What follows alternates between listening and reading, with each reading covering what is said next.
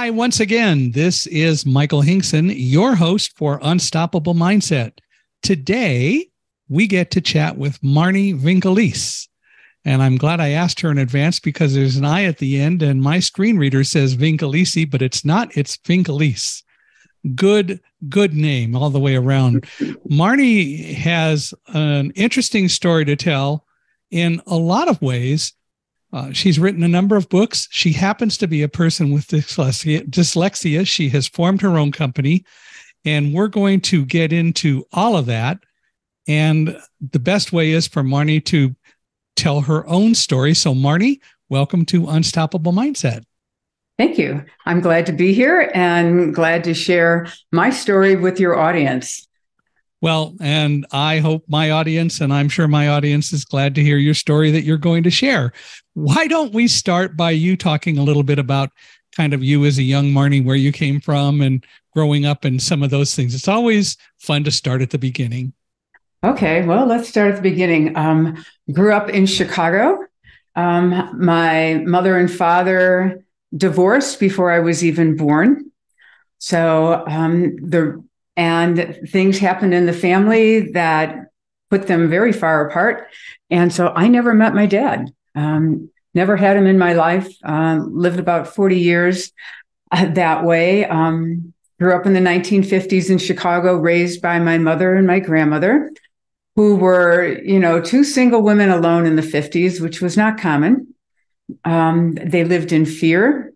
Uh, they felt that, you know, things weren't going their way. Uh, they struggled with money and they felt control was a really good way to raise children.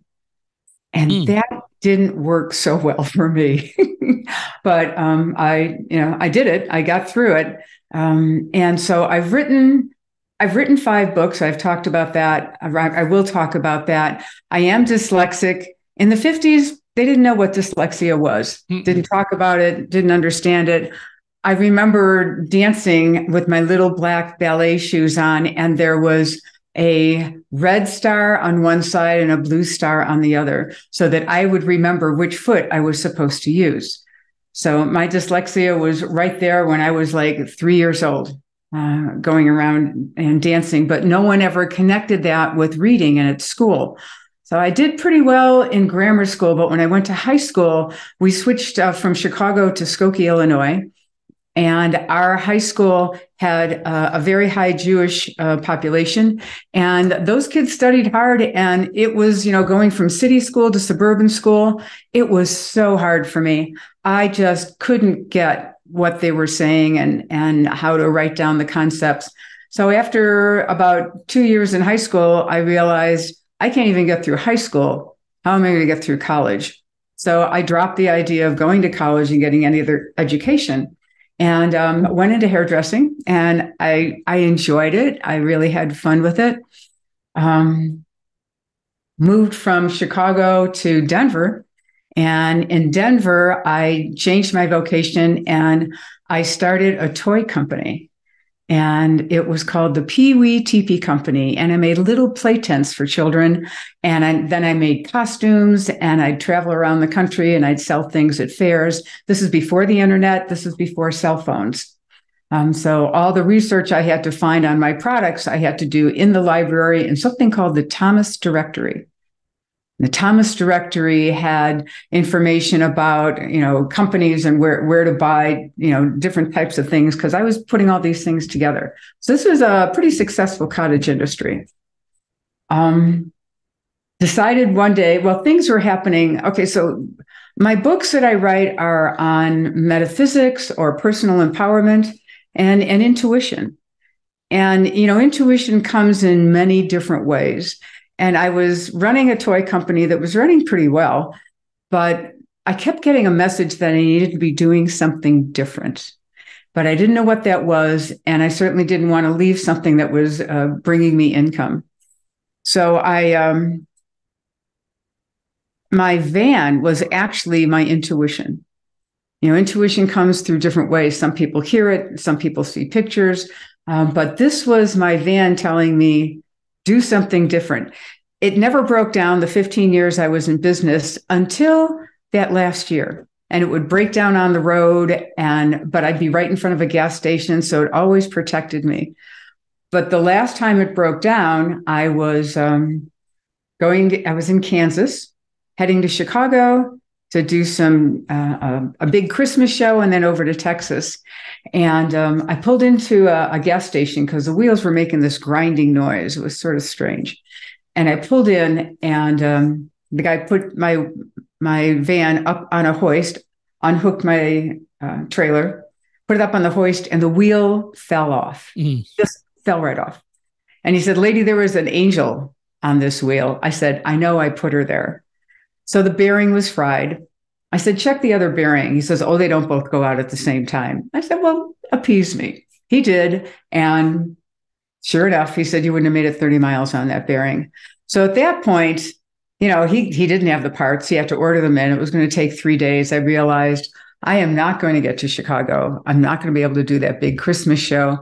And maybe perhaps I need to listen to what's going on here. So, this full story is in um, my first book that I wrote called Finding Your Inner Gift. But um, I won't bore you with all those details. I'll just let you know that I stepped into what was uh, a small um, hotel, motel, and I sat down on the bed and I said, That's it. I quit. I talked to the universe. I said, I'm not going to do this anymore. I quit this business right now, this moment. So the van got fixed. I drove back home. I canceled all my shows from September to December. Um, I sell toys. This was a big deal. And I just went into that place of trust, just trusting the universe that something's going to come my way. And what, what came my way after about nine months, which I thought was an interesting gestation period, was uh, Reiki. Someone mentioned that I should learn Reiki. Reiki is a hands on healing modality.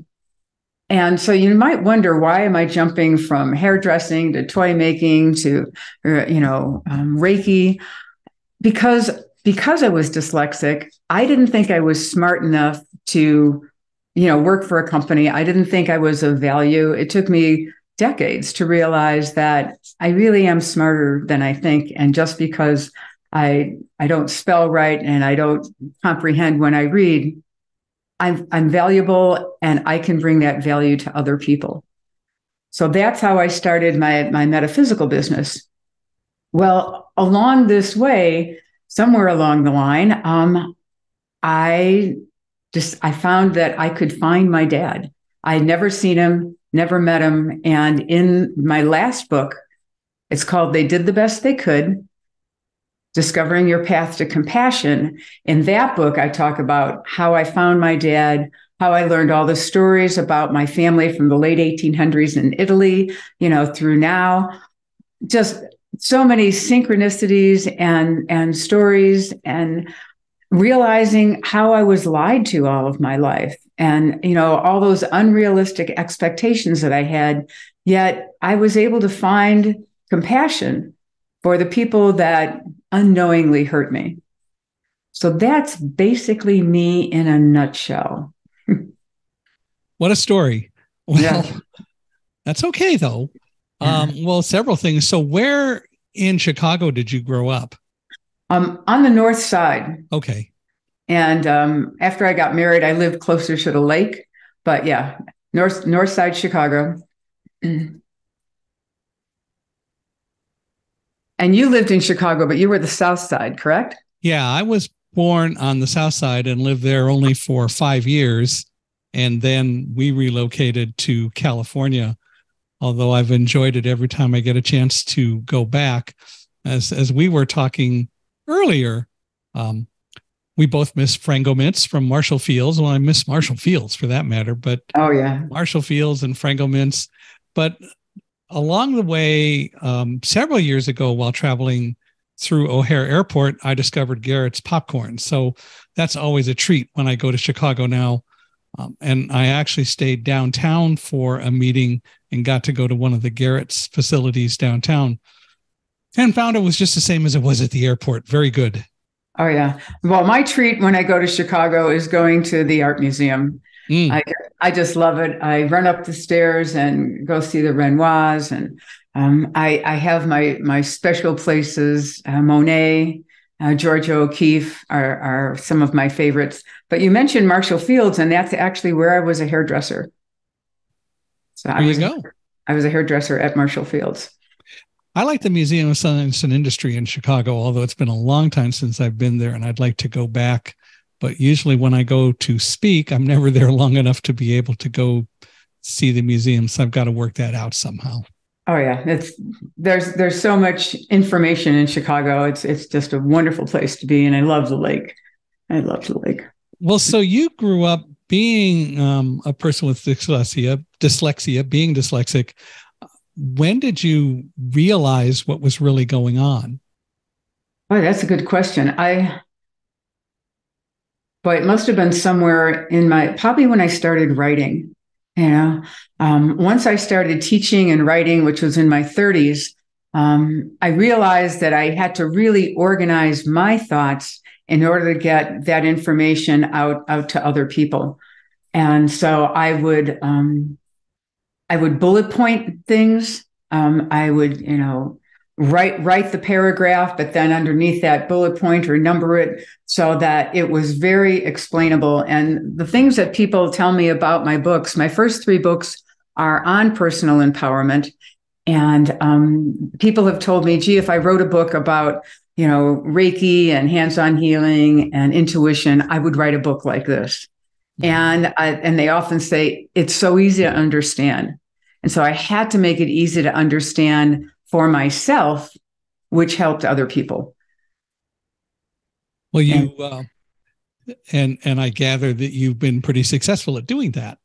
Yes, and you know I've got you know of course people that would go over you know my copy and you know we we talk about what's not clear or how I put in angles instead of angels you know different word you know letters that I would switch but one thing that's helped me a lot is Grammarly and mm. I don't know if your listeners are aware if they write that much, but Grammarly, um, I think I think you can get you can get a free version, and um, it'll go through everything that you write, whether it's on the computer, on your on your phone, on your tablet. It will you can download it so that it's checking your spelling and your words all the time, and that really really saves me a lot. So I'm really happy um, with Grammarly.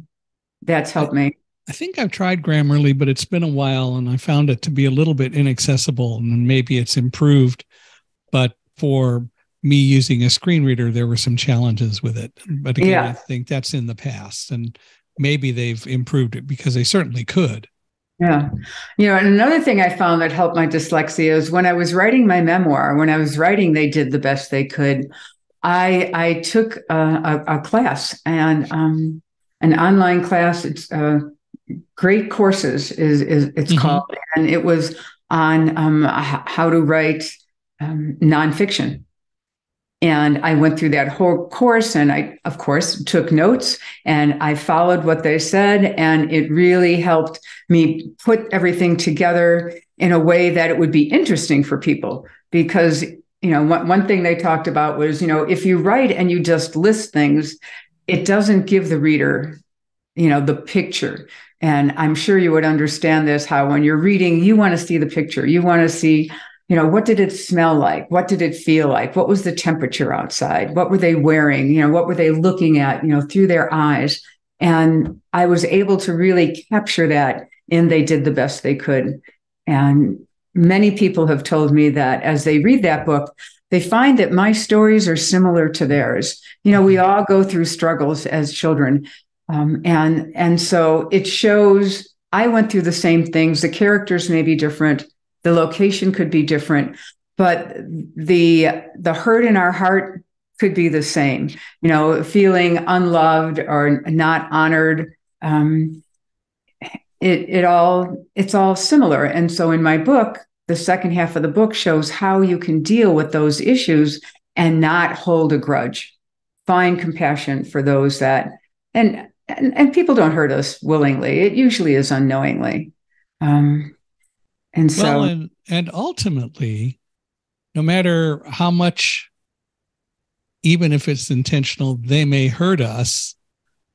in so many different ways. The reality is, we really hurt if we allow ourselves to be hurt. I mean, that is if we're dealing with a mental situation, we have control over how we deal with that kind of pain. Oh, absolutely.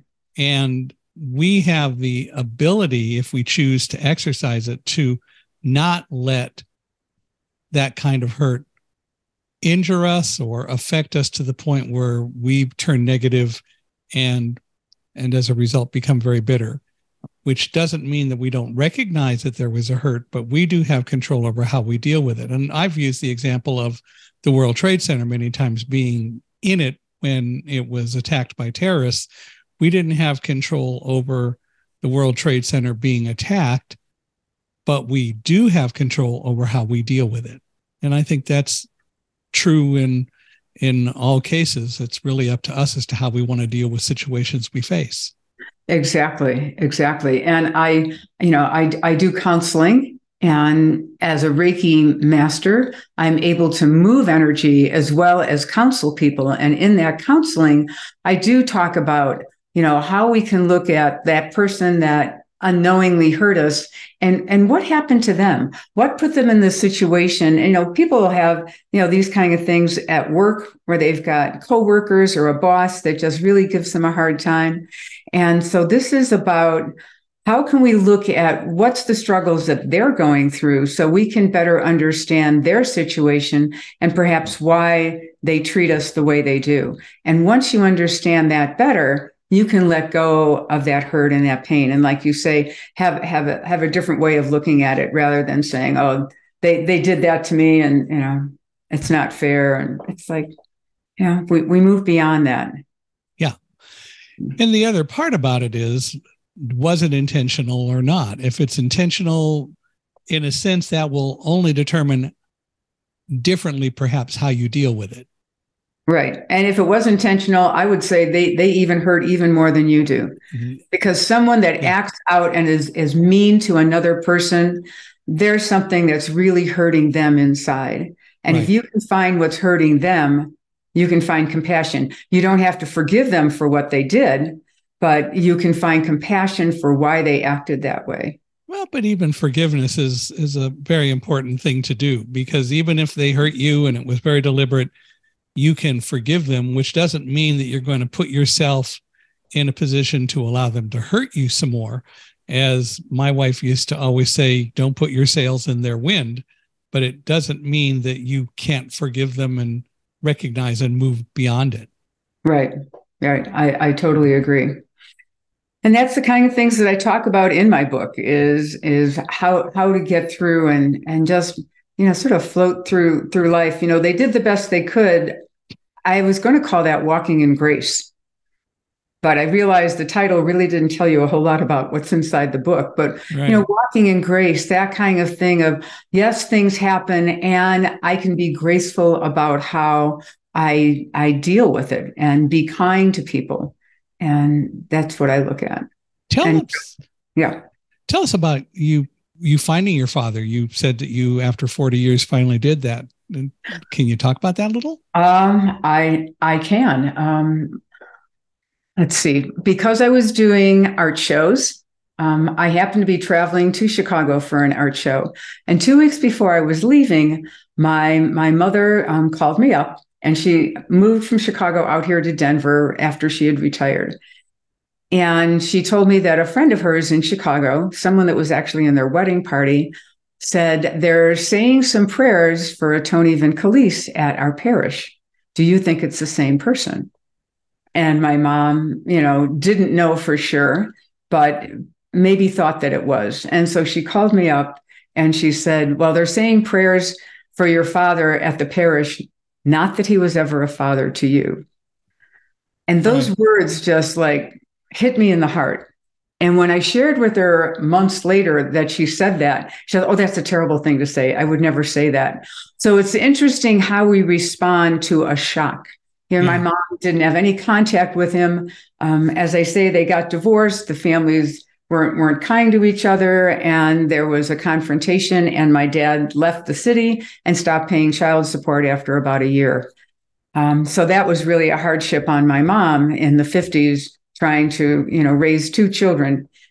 And what also happened to her is she got divorced and she moved in with her mother and father. And the month after the divorce was final, her father died. Mm. So now she's got my brother, who's about a year older than me, myself, brand new baby, and has to take care of two children and her mother because my grandmother didn't work since she was since she got married. I mean, that's how things were back in the in, yeah. in the in the 20s and 30s. And um, grandma did have one job. When she was 19, she worked for the Western Union. And her job was to deliver the messages that came in. So they would come in on a telegraph and they'd have to be quickly brought over to another room where they would be typed in and sent out. And they wore roller skates. So at 19, grandma took the messages and roller skated from one part of the building to another. So um, figured, well, in in the late 40s, you know, her skill of roller skating was not going to really give her a very good job. so hence why she didn't go out and get a job. So my mom, you know, here she is, you know, having to support, you know, two children, herself and her mother it was really tough. And that's how she lived the rest of her life. But anyway, so, so I so can see. Derby, so roller derby wasn't in her future. You're saying no, she wasn't going to be a roller derby queen. so I can sort of understand why my mother was angry at, at my dad, and and you know, but that that really hurt me. So her saying that, you know, not that he was ever a father to you, I didn't feel open to say, and mom, give me the name of that friend of yours so I can go find him. You know, that door was not open. Yeah. And and so um, in my book, I talk about how I go into my mom's uh, condo. I have my children take her out to lunch, and and I go inside and I'm I'm rifling through her um, index cards to try to find this woman Macy and and find her number. You know, and and um, I I did find it. Um, I did call her up. Uh, so when we get we went to Chicago and brought the kids with us. But this confrontation of meeting my father, I didn't know what would happen. So in the book, there's a beautiful story of how I go to Macy's house and we look in the telephone book for his name and and it was there which shocked me because my mother had an unlisted number my father had an unlisted number neither one of them wanted to find each other you know he would have been thrown in jail for not paying child support and you know so all that so i thought well this this can't be this can't be him. Um, but i look at the address and the address is around the corner from macy's house. This woman's house who was in their wedding party he lived around the corner from them. Mm. which uh, I, I talk about synchronicities in this book. This one was way too bizarre. My mom would visit macy. They would go out for walks on hot summer nights in chicago easily have walked by his house, never saw him, right? So I'm thinking, probably not him, but let's, you know, Macy said, Well, here's his phone number. Why don't you call him up? I said, What would I say? I said, No, I'm not calling him up. I'm walking over there. So my husband, Macy, and I walk over to his house and I knock on his door. And the uh, it was a hot summer day. It was uh, the 3rd of July. The wood door was open, the screen door was closed an old, frail man walks to the door, um, white hair, didn't look really healthy. And uh, I asked him, I said, Are you Tony Vincolisi? He says, Yes, I am. I said, Well, I said, Were you married to Lorraine? He said, Yes. I said, I'm your daughter, Marlene. And at that time, you know, originally my name was Marlene. And um, he looks at me and he said, I had a son named Jimmy and with that it just it just shocked me. I was like story of my life you know everybody I, I thought my brother was more honored than i was in the family. So i said here i am jimmy jimmy jimmy. Once again he doesn't remember me but he remembers my brother. And i just sort of took a little step back. And my husband placed his hands on my shoulders just on my back and he just gave me a little nudge and i could hear him his thoughts in my head saying go ahead you can do this. It's okay. And so I again spoke and I said, Well, I'm his sister. I'm Marlene. And he said, I had a baby girl. I only held her once in my arms. I said, Open the door. You can hold her again. dead silence. He's staring out into space. Nothing's happening. No one knows what's going on. And Macy finally says, Tony, Tony, open the door. This is your daughter. Open the door, you know? And with that, it takes him out of that shock. And he opens the door and he falls into my arms and he just sobs. And he says, Marlene, Marlene, I never thought I'd see you again. This is a miracle. This is a miracle. God sent you to me. And that's how the story began or continued. So just a little blip of 40 years, right? just a little blip. But, just a just a little blip. So, but you were able to to reconnect. How did your mother react to all of that? Boy, that that that was another story. Yeah, I um, bet. Yeah, I mean, I'll, I'll, I'll tell you this. He he had lung cancer, and uh, if you know anyone that has lung cancer, he, he, was not. You know, the doctor told him the beginning of the year he wasn't going to be around long, mm-hmm. and this was July. Um, but um, he says to me, you know, we he, we were sitting on the sofa, and um, and he says, I've I've got to take you to my sister's. One of his sisters had just passed on two weeks before that.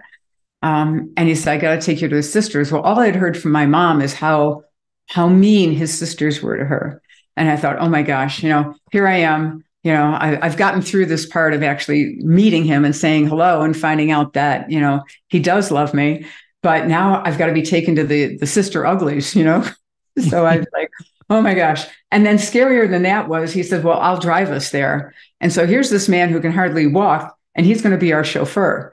But it was okay. We got there and um, met the sisters and they were just so so glad to see me it was it was just beautiful so yes i come back home and you know i've got to tell my mom I, you know i didn't even tell my brother i was going and so i i call up my brother and tell him what happened. He says you got to tell mom. I said i'm not telling mom. He says you've got to tell mom. I said nope i'm not telling mom. I hang up the phone and i pace back and forth for about a half an hour. And i was like he's right. I got to go tell my mom. So yes, I I did go tell her. She was definitely not too happy with me, but you know, it's family. And over the weeks and the months, she softened, she got better. And I was actually able to have her reconcile with these sisters that she didn't like.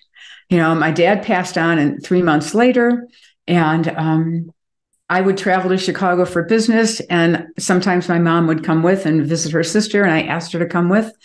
And I actually got her to go see my Aunt Mary. And um, they knocked on the door, and it was, you know, bygones be bygones, you know, beautiful Italian family that that forgives and forgets. And I really feel they taught my mom how to do that because my mom hung on to her anger for a long time. But um, once she met them, they became friends again. And it was, you know, it was beautiful so again, what was your profession at the time that all this happened? Forty years. Um, my I was I had I had a cottage industry making toys. Oh, you were still in the toy business then. I was in the toy business. Yeah. Your your van was not sending you strong enough messages yet to change. Not at that point, but you know, uh, you know, we reach parts in our life that just completely change how how we deal with life. And I think after meeting my dad and understanding that the love that I didn't have was really there. I think it gave me the strength to stand up and say, I can, I can do something more. I can do something better. And you know, the work that I'm doing now, which I've been doing for over three decades, is really, you know, heart centered. It's it's helping people. It's it's showing people how they don't have to suffer emotionally or physically. And I really think meeting my dad catapulted me in into that position. I mean, I already, I always had that. I mean, I was a child of the, you know, in this in the '60s, a teenager in the '60s, you know, yeah. flower child. So I I looked into meditations and yoga way back when no one was doing yoga. No, you know, I mean, well, people, but you know, not not in the masses that they're doing it now. And and uh, my toy company, even when I sold those toys, I saw my tents as a safe haven for children to go into. I would fill those with light um, so that if there was any disturbance going on in the home, that the children could could go into that little tent and it would be a place where they would feel loved and peace. And so I always worked with energy through, I'd say from my 20s on. So stepping into the vocation that I have now as as an intuitive, um, it was easy. You know, it, it was familiar to me, and I, th- I think meeting my dad helped help do that. Well, when you decided to change from toys, what really made you go into uh, learning Reiki and and being a Reiki master and and going into the whole profession that you have now? Because that's quite a major change in direction. That that is a jump, isn't it? Um, five years before I I started learning Reiki, I um I looked. Someone gave me a book. Said, "Oh, you should you should you should look into this. You should do Reiki." And I thumbed through it and I said, "I'm not a healer," and threw it off to the side. But within five years, and after meeting my dad and just knowing that my business had to be different and it had to be, I wanted it to be something that helped people more than I was doing now, rather than just games and toys and playing. And so someone presented Reiki to me again. And this time it clicked in my head. I was like, okay, I'll look into this. But what happened was that um, the friend of mine that told me about Reiki says, You need to go to my Reiki master. I said, Okay. And she lives in Germany, outside of Frankfurt, Germany. And um, I'll, I'll, tell you, you know, Boulder, Colorado is a very metaphysical community. Mm-hmm and um, you can throw a rock in any direction and probably hit a Reiki master, you know, dime a dozen. But somehow I was guided to leave the country, which I've never done before, and go to this woman and and learn Reiki. So I went there. Um, she was very German. She was very strict. She was very traditional, which is not how I teach Reiki now. But um, and you know, why did I go there? Well, I found um, that I had a past life in Germany, in this town, at this church. I mean, I would say maybe a year or so before that, in meditation, I saw past lives. Um, and, and so I understood on a, on a feeling level, at least I saw in my own mind's eye, lives that I had had before. And when I was in Germany, and as I've traveled more throughout the world, I find that when I'm at a place where I've been before, I get emotional. Um, mm. in Egypt, I stood by Coptic jars. I had seen myself uh, as uh, someone in Egypt that took the organs out of noblemen's and put them in Coptic jars. And when I stood at these particular Coptic jars, and I saw many there, I started to sob. And I walked away. I came back three times, and every time I stood by those jars, I cried, knowing and in my mind that those were the jars that I worked with. So in Germany, I'm standing in front of this big church. We, we go into her small village and we're walking around and I stand be, in front of these big wooden doors and I start to cry. And I was like, I was a priest in that church. And then I was guided to just turn around and I turned behind me and I saw ruins of a castle. And again, in my mind's eye, when I did meditation, I saw myself tortured as a priest because I didn't follow the way they wanted me to do it, which is how I am now. And I said, that's where I was tortured. And even walking through the countryside, I saw a small church. And again, tears came to me, and I knew I had lived there. That was where I was, my, my parish as a small boy. So why did I go to Germany? All these, all these things that sometimes you just do because you just feel you should. Do you ever get that, Michael? Oh, yes. And you don't understand why? You know, why did I quit my toy business in the moment? Because I knew there was something out there. I knew it. Well, and that's all the understanding you need to make a choice. If you're certain, then that's what you do. My favorite example of that kind of thing is a real simple one. Do you ever play Trivial Pursuit? Uh, not very well. but how many times do you play the game or do you interact with other people who are playing the game? Somebody asks the question you know the answer and you just say, well, that can't be right. And you give a different answer and it's the wrong answer. And the one that you thought at first was the right answer truly was correct. And that happens all the time in Trivial Pursuit. Mm-hmm. So when I play Trivial Pursuit, I have learned to listen because usually it's the right answer. And we we ignore our inner guide so much. We mm-hmm. ignore mm-hmm those things that are really telling us what to do. So, as they say in Australia and New Zealand, good on you for what you're doing and and how you do it. Um, so what did what did you Reiki? Let, let me let me let me just uh, segue on top of that. I'm going to give a little um, exercise that that I have in some of my books on how to build that intuition. I mean, just what you're saying, you second guess it. So I say this is what you do for the next. If you want to, if you want to create a new pattern, you do it for 30 days or at mm-hmm. least 21 days. You know, and so every time you have an intuitive thought, you should write it down. Mm-hmm. Just just by having a little notebook. Of course, now we've got our phones. So in your phone, you could have in your notes an intuitive thought.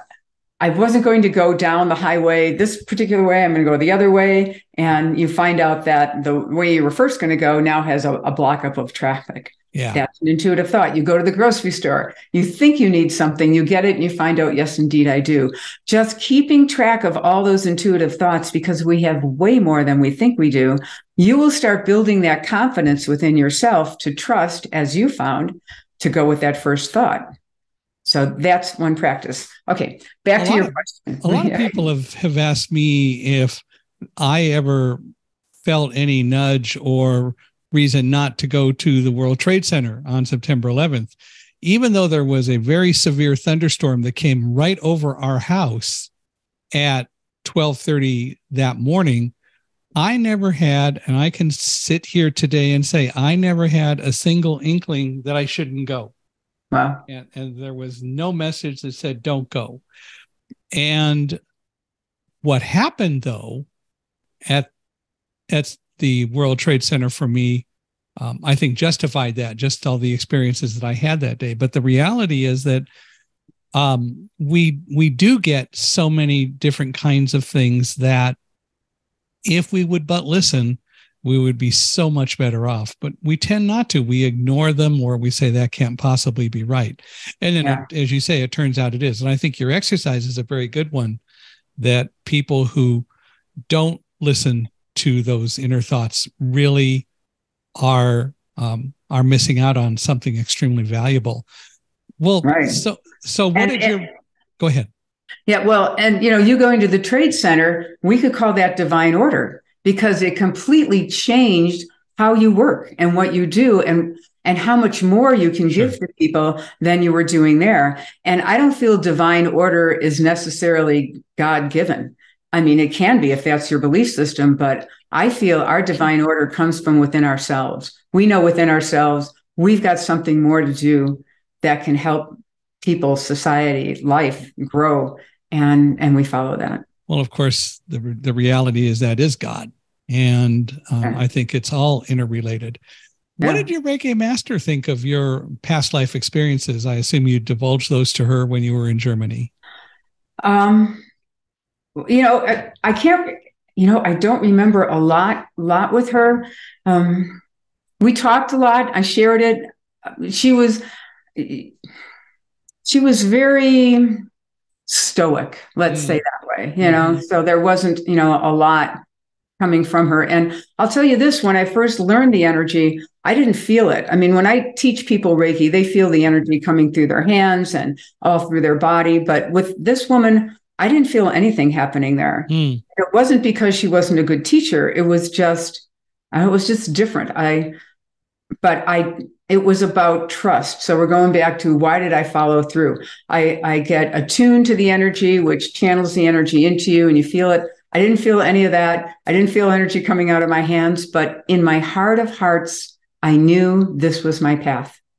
And as I continued to practice it and get move on to the higher levels, I started feeling a lot more energy. But it really helped me to teach people to tell them I didn't feel anything, but it works. And it's channeling love into the body. Reiki is channeling the infinite love of the universe into your head, into your heart. You channel it out your hands to a situation, to a person, or to yourself. And it's just working with love. It's it's it's pretty simple. Well, tell us a little bit more about what Reiki is. um, Reiki, like I say, is channeling the infinite love of the universe through your body into another. Well, when we heal at the deepest level, we heal through love. On some level, we're allowing the medicine to work, allowing the procedure the doctor's giving you to work, or just trusting that your body can be better. And so building that love in and around a person allows them to get better and understand things in a different perception. And we sort of talked about compassion, but you know, compassion, and we talked about looking at what goes on with other people. It's it's perception. How do you perceive something that makes you um, ill? You know, a lot of um, illnesses that come in are from stress. Doctors will tell us, you know, this is happening, you know, because you're stressed. You know, your heart is hurting or whatever. So if we could be less stressed, that means that we would have to have a different perception of what's happening around us. And coming into a space of love or feeling love around you or asking love to come in you is going to put you to a, a, a softer space so you can see things in a different way. So Reiki channels in loves and gives you a new perspective. And once you have the new perspective, you can act differently, you can feel differently, your body's going to relax because Reiki just doesn't come into your physical body. We have four bodies we have a physical body. We have an emotional body, which is an etheric body. It's about, you know, an inch or two off our, our, our skin. Hence why we like to hug, why we shake hands. It's that touching of that emotional body that we're really looking for. The mental body is a little bit further out, probably about 18 inches out, where all those thoughts that run through our head are right there in our face. And then the spiritual body is right at the edge.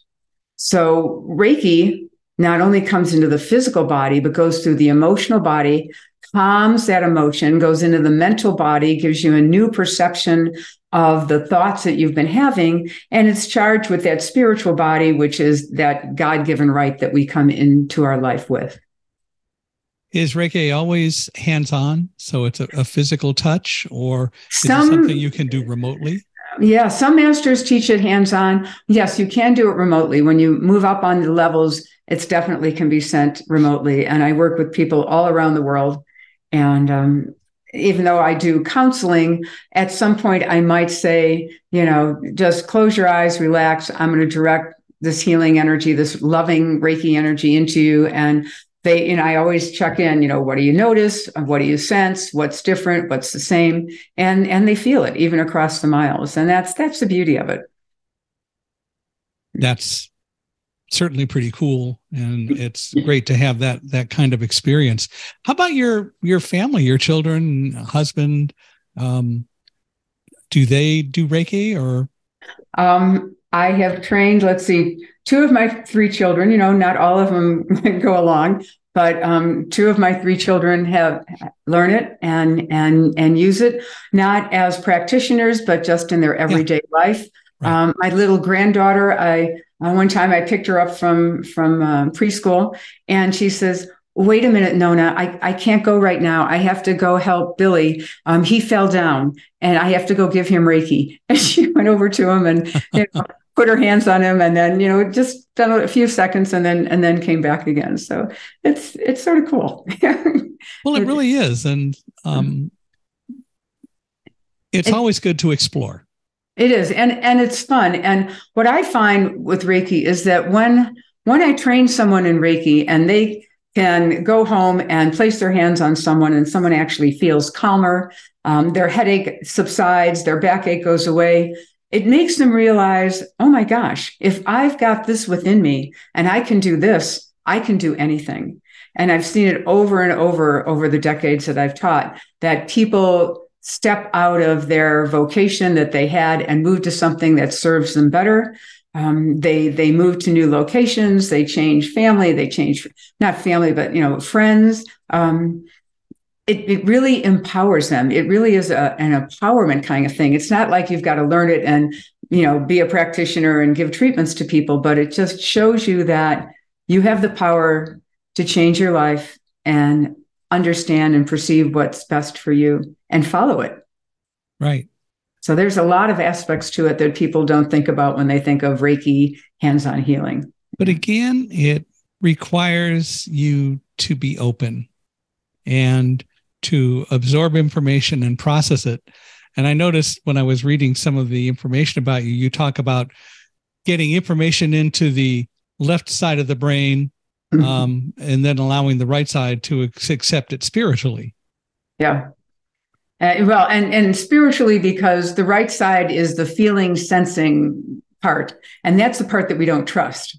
Yeah. And once we start trusting it, we can get a deeper a deeper connection um, to what we see as as spirit or power beyond us or power within us you know how, however we focus on that. And you know reiki is not the only thing i do. I mean i also you know from that it stems out into meditation which again helps people understand that they have the power to do what they need to do for themselves to calm their, themselves down.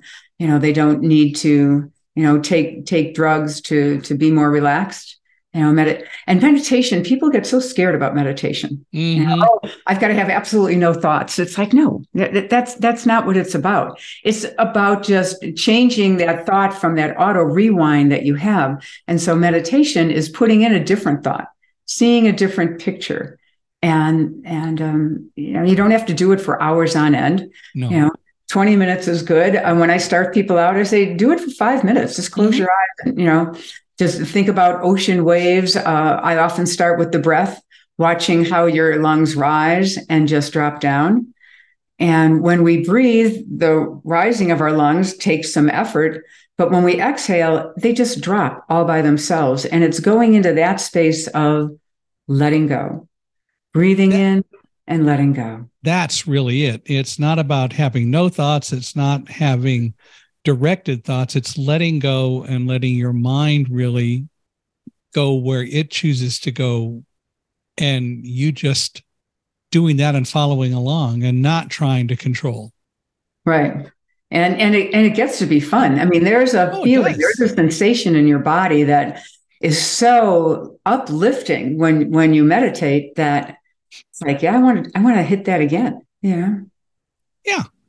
And again, if you learn how to do that and to let go and to let your mind direct you, if you will, um, again, that will enhance your your being in your life a whole lot, and it will help you in understanding so many things about other people um, and and what's happening to you as well. Yeah, well, you know, we we give our body a rest. We, we lay down at night and we sleep, but we never really give our mind that that reprieve. And meditation just 20 minutes a day gives your mind that rest and we start figuring things out better and start working with both sides of the brain. I mean we know that the left side is our that analytical side the right side is the feeling side but if we could be in that whole brain thinking we could we could do the analytical and allow the intuitive right brain to tell you which direction to go. Mm-hmm. And, and so, just like you were talking about trusting your intuition, you can do that if you meditate because you're going to get that whole brain thinking going on. So you're not battling it. You know when you've got that one idea that comes in and the other one says no that's not it. You know the intuition comes in and the other one says no that can't be it. They stop arguing. Yeah. They start they start communicating better and I've got, you know, I've got meditations on my website. Um, I, I, know you'll put it up for your for your audience. It's lightinternal.com. And there's MP3s on there. And you know, when you start with meditation, listen to somebody. It's a lot easier to have because as as a meditator and as a Reiki master, I'm able to bring that calm energy into my voice and into you. So you're going to get into that space a lot faster. Yeah. um, and and if you don't listen to mine there's other people out there but find someone that sounds good to you feels good to you makes you relax. And um, it, it's a lot easier to listen to uh, one when you get started. You know you were talking about sleeping and we don't really let our brains do the things that that that they should. The, the fact is that there should never be anything wrong with taking a few minutes at the end of the day just to relax, maybe just think about the day, think about what worked, what didn't work, and let your mind direct you as to how you deal with it tomorrow. But we don't tend to learn how to be introspective. Right. And, you know, at, at work, and now not that many, uh, more people are working at home, but when people worked more in the office, there were, you know, you would get coffee breaks. Yeah. And, and then they stopped the coffee breaks, but people that smoked would go outside and smoke. They would mm-hmm. take their break. So I would I would tell my students, tell you what, You know, you don't have to go out and smoke, but just give yourself five minutes. Just put your hands on the computer screen and close your eyes, or uh, the, the keyboard, and and just close your eyes for five minutes and give yourself the break that other people are taking, but yours is much healthier. Um, so, and more productive. And more, yes, and and I think companies are beginning to learn that that um, people are more productive when they're happier, when they're relaxed, and there's ways to give them that. Tell us about the the different products and services that your company does and the name of the company again and just a little bit about how people can reach out to you and learn more about what you do and so on. Okay, well, my website's the great place to go. Light internal. A lot of people want to call it light eternal. And it's like, no, it's the light internal. that's within you. Okay. Lightinternal.com. I write a weekly blog. And in there, sometimes I'll have meditations that you can listen to. Um, I, I talk about things that um, are pertinent with what, what's going on, how we can um, see things differently, how to deal with, you know, angry people or things that upset us. Lots and lots of information in there. Um, and so you'll find that on the site as um, I've got YouTube videos. So if you put my name in, you know, Marnie, Marnie Vin or Marnie Vincolisi, I'll pop up on YouTube. Um, Facebook, not so much. Uh, I got hacked on Facebook a few years ago and hmm. was able to get back on. I was like, oh well, let that go. Um, Instagram, I'm I'm on I'm on Instagram. My products are I've got five books. Um, Three of the books, the first books I wrote were about personal empowerment using uh, Reiki and other meditative type techniques. One's called um, Finding Your Inner Gift. Second one is Inner Gifts Uncovered. And the third one is Claiming Your Inner Gift. And then uh, you asked about my family. So, um, another grandchild who lives in San Francisco, I was telling her a story as we were going through San Francisco. I was in the back seat with her. My daughter's driving, and you know she's getting sort of fussy. And the story that I told her turned into a book, and um, it's uh, it's called "The House Who Found Its Home." It's a children's book. It's a good reader for uh, early readers because there's repetitive statements, and it's about a house that was living in a place that was too tight and too bright and too noisy. So the house took off to find a new place to live. Mm. And of course, because it's my book, the house learned a valuable lesson. there you then, go. Yeah. And the last book is They Did the Best They Could Discovering Your Path to Compassion with um, beautiful guidance on how you can work through issues that might be bothering you. Um, but as I said, there's MP3 there as well. And, you know, um, anytime that you've got issues, I'd love to work with you through hypnosis, um, guidance, um, counseling, just moving energy for you, and and that's my counseling. So it's it's all there on the site on lightinternal.com. And, and I you, and you do that worldwide. So I do. Anyone who is listening who wants to can certainly reach out to you, and I hope that they will. Right, and and all my books, um, I can I can ship worldwide as well. So did you publish them yourself? I did. I, mm-hmm. I did do self publishing. The first three books I did self publishing because they were my processes and I didn't want to give them away to a publisher because I know mm-hmm. if it doesn't sell the way they want, uh, the book's off the shelf. Yeah. And, you know, once I learned how to do that, I just continued with my other books and, and self published. And I just love the creative nature of it. Um, the last book, um, you know, I I created the cover. The background that you see here is is the cover of my latest book, and um, let's see, you can sort of see it here. Um, I worked with fonts and how to do the layout, and just that creative part of me, that right brain of me, said, create your own books and create how they lay out and do your covers, and it's it's just fun. And so you have certainly not allowed dyslexia to stand in the way, and no. your brain has dealt with that. It has. It's done pretty good. Which is cool. Well, mm. I want to thank you for being with us again on Unstoppable Mindset. And clearly, if we're going to talk about someone who's unstoppable, that would be you. and I am so glad that you you found us because you actually found us and said, I want to be a guest on your podcast, which I'm right. very grateful for you to have done. And so very much that was great. Right. And I've so I've so enjoyed meeting you and hearing, you know, how you've dealt with diversity and what you've gone through. I mean, I loved your story about riding your bicycle at seven years old by yourself and a neighbor complaining. I, may I may I take a moment and ask you that? So um, my father-in-law was blind, and mm-hmm. so I, I learned, you know, a lot of things through him. So when you were riding your bike, did you listen for how the air went by you to know if there was something along the side of you? I mean, you knew how far. I mean, how many turns to the end of the corner? You know, how many times did you go around? Tell me how you did it. Well, it's not so much the air going by you; it's just all the echoes and all the sounds. I okay. mean, it's like uh, how would you describe to someone when you're riding a bike what it looks like and what you see? How do you describe that sense? Mm-hmm. And it's the same thing. You're using different senses to do the same thing. And the, the fact is that with all the different kinds of noises, echoing, and, and so on that you can hear, um, it's possible to ride a bike. Now, I'm not going to probably want to be a bike messenger in New York City, but I I enjoyed riding a bike. It's been a long time since I've ridden, but I've enjoyed it. Um, and you learn to trust your senses, which is what we've talked a lot about here. Yeah, yeah. Well, thank you for sharing that with me, and thank you for having me on. I've really enjoyed meeting you, and I and I hope I get to talk to you again. Well, and- I think we definitely ought to stay in touch by by all means. Yes. And when you're listening out there, please go off and give us a five star rating, especially if you can go to iTunes and do it. We love that. Five star rating is always helpful. But we want to hear your comments and read your comments. So feel free to leave those as well.